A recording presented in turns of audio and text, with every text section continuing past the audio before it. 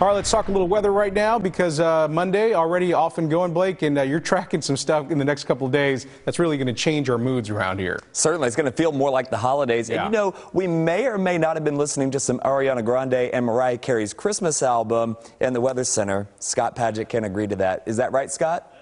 There you go. So we are in full swing over here in the holidays, especially as we head into the coming days. It's going to feel like that with high temperatures, maybe not even getting out of the 40s in some locations. So it's certainly a big weather pattern change ahead. As we take a live look out over the Dallas skyline, say goodbye to these bright blue skies because tomorrow we are overcast and then the rain moves in all day, sun up to sundown as we head into Wednesday and then things clear out just in time for that upcoming weekend. Temperatures right now 78 degrees in Dallas, same here in in Fort Worth, Denton, 74 degrees there in Bridgeport. Pretty much everywhere you look holding in those upper 70s this afternoon all under those mostly clear skies. Nationwide, not too much going on, a little rain pushing through Missouri, but what I want to draw your attention to is the action out here across the west coast. That is our storm system that's going to be working its way into Texas as we head into Tuesday night into Wednesday, bringing a wide swath of rain into the state. And that is certainly going to be some welcome news because as Luke Bryan once saying, rain is a good thing as long as you don't get too much of it. Now, the chilly air is certainly going to filter in quickly behind that front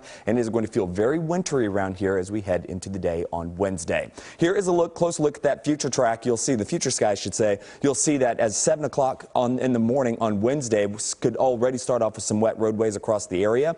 That rain begins to pick up in earnest as we head into the lunch hour and then heading into the afternoon hours as well. So again, Wednesday looking like a very wet day across the Dallas-Fort Worth area. How much rain are we talking? Well, generally a half to about as much as an inch of rain for most locations. I think areas down towards Corsicana and Terrell and areas to the east of there could pick up as much as maybe three inches of rain. So something we will continue to watch. Regardless, even those areas that do pick up three inches of rain, this is not going to be a flooding event, being how, how uh, dry the ground is. We should be able to absorb all of this water pretty efficiently.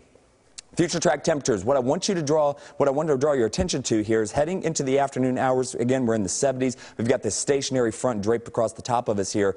But by tomorrow morning, we're in the 50s and 60s. But with that front sitting over the top of us, areas to the north of I-30 will stay generally in the 50s and 60s tomorrow. That does include Dallas, Fort Worth. And those of you watching from, say, Waxahachie, Hillsboro, and Corsicana, you could be as cool as the upper 60s to as warm as the upper 70s. So I think the further north you are, the cooler those temperatures are going to be be heading into tomorrow afternoon. Now, by Wednesday, things really get chilly around the area. In fact, by 3.30, look at this, 51, 54 here in Dallas, uh, same in Fort Worth, 54 degrees there in Waxahachie. So regardless, looks like everybody stays in the low 50s for daytime highs heading into your Wednesday. And the model here, what we're looking at, the GFS, the Euro, the National Weather Service, and what we've come up with here at Channel 11, you'll see generally all of us in agreement here with 50s heading into your Wednesday and into Thursday. So regardless, it's going to be a chilly couple of days. The rain is also going to wash the pollen out of the air heading into Wednesday, so we shouldn't have too many issues with that. And over the next seven days, once we get past Wednesday and Thursday, the weather really turns